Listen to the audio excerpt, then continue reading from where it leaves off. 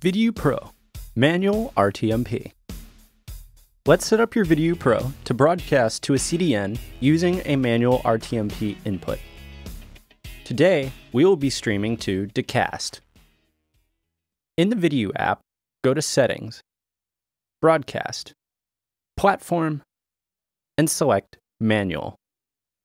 Enter the RTMP URL provided by the streaming service, which in this case is Dacast. Then the stream information. If needed, you can simply copy and paste this information. You can also select a different agent.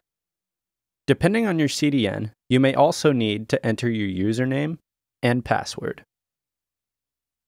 Click Apply. You are now ready to stream to your channel. Hit the green button to start your stream.